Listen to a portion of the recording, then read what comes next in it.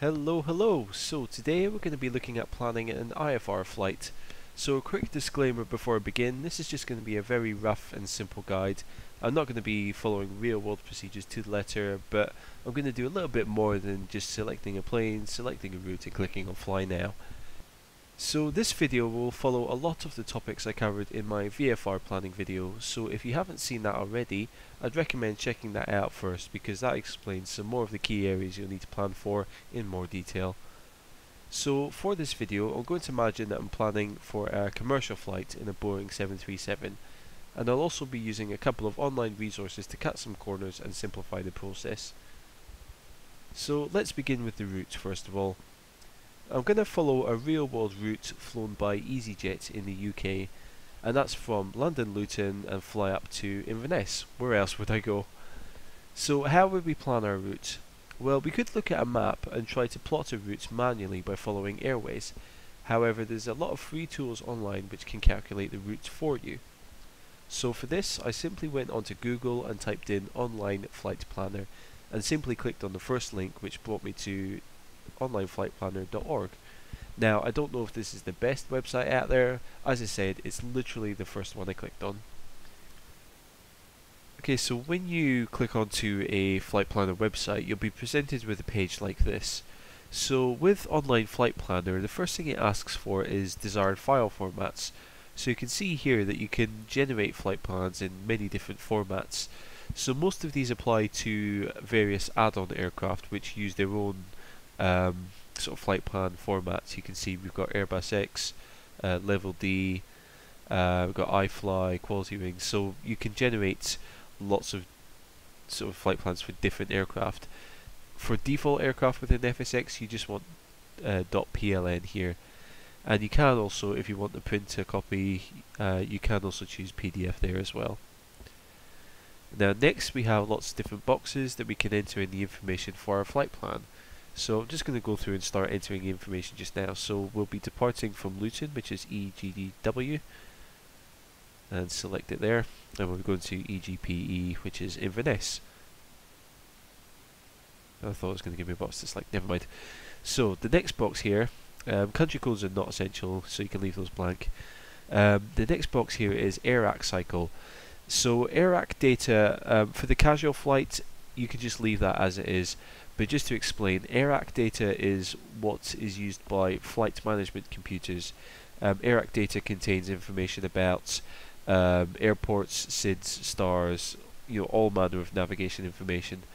Um, add-on aircraft, you know, such as PMDG and that, do simulate the FMC or the flight management computer, but default aircraft within FSX don't. So, if you're just going to be a casual user with um, with just a, a sta standard default plane, just leave the AIRAC cycle as it is.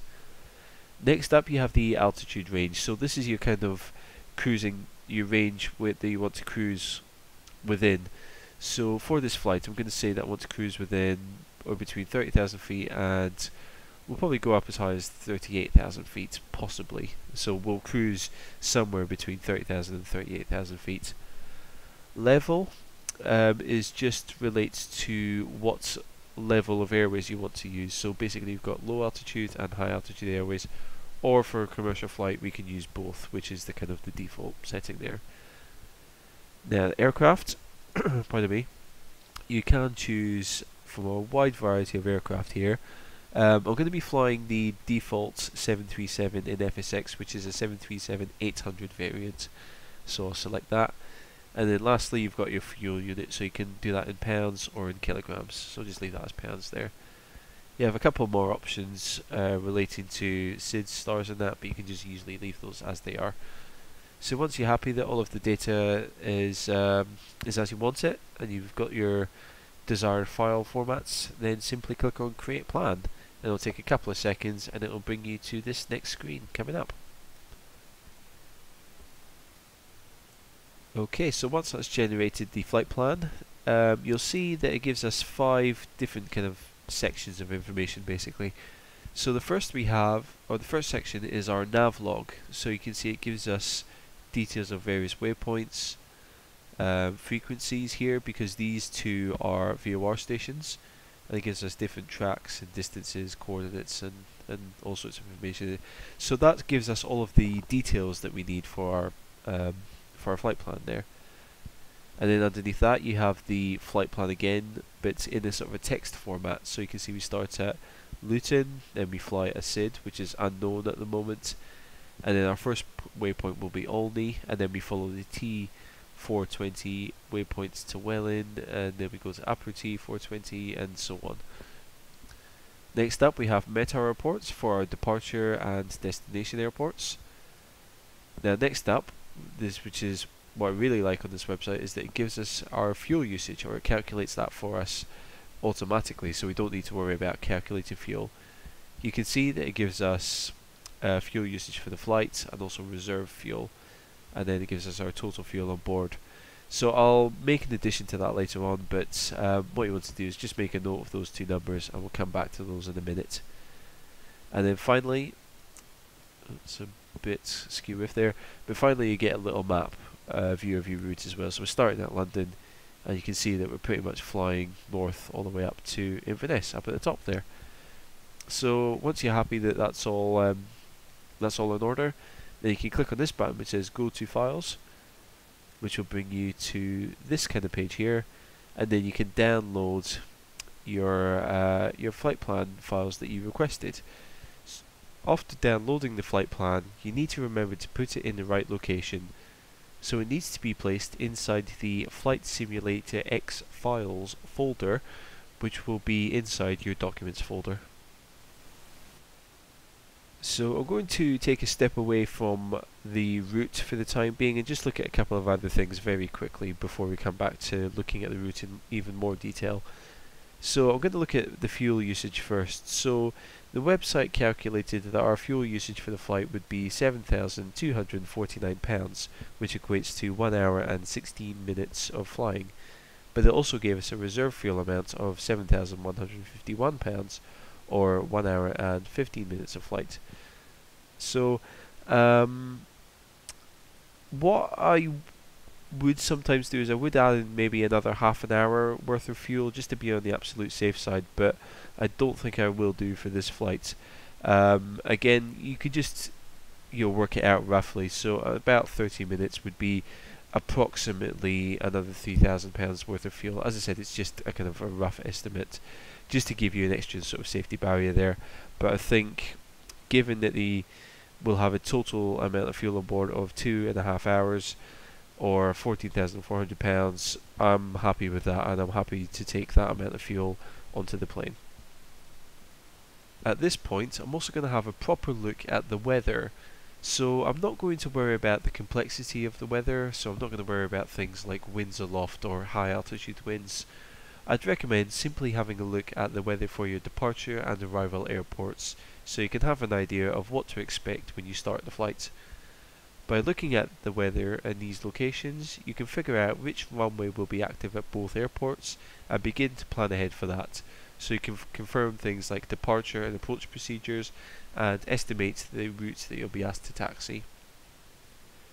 So looking at the two METAR reports for uh, the two airports on this flight, um, down at Luton we've got the winds coming from 200 at 4 knots but then the winds are also going to be variable from 160 through to 230 so that would suggest to me that uh, planes will be taking off from runway 26 at Luton. You can see the visibility is fine, but we've got some scattered clouds at 1,900 feet, so it's not a big problem. Up in Inverness, you can see that the winds are coming from 230 at 17 knots, so it's a fairly strong wind, but it's going to be blowing down the length of runway 23, which suits us perfectly. The visibility again is really good and we've got no clouds in Inverness so it looks like it's going to be a nice albeit windy day up there.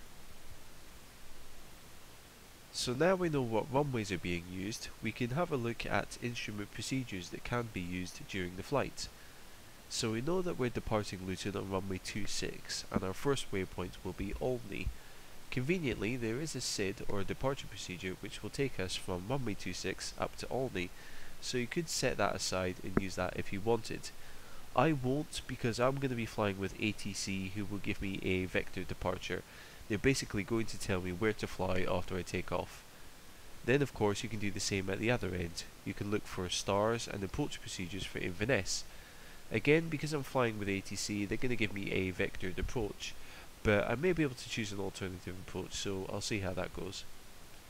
So I'm not going to worry about getting any procedure charts ready for myself, but if you wanted a little more realism, you could do that.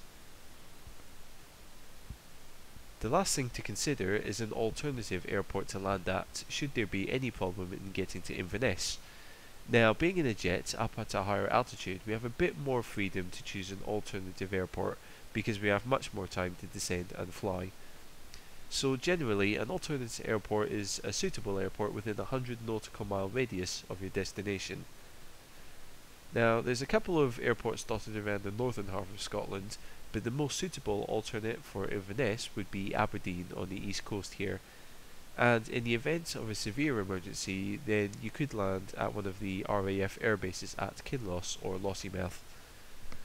When selecting an alternative airport, remember to take into consideration the length of the runway and make sure that it's long enough to support your plane.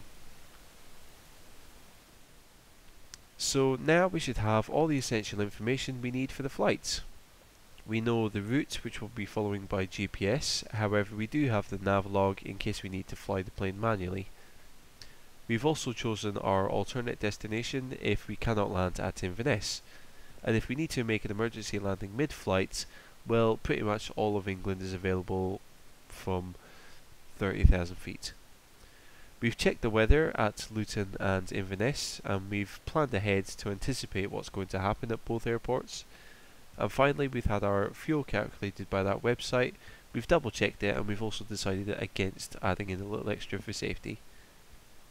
So that's a quick look at planning an IFR flight. In my next video I'm going to take this exact plan and actually fly it, so you'll get to see me fly a jet for the first time. Anyway, I hope to see you there, many thanks for watching, and I'll catch you later.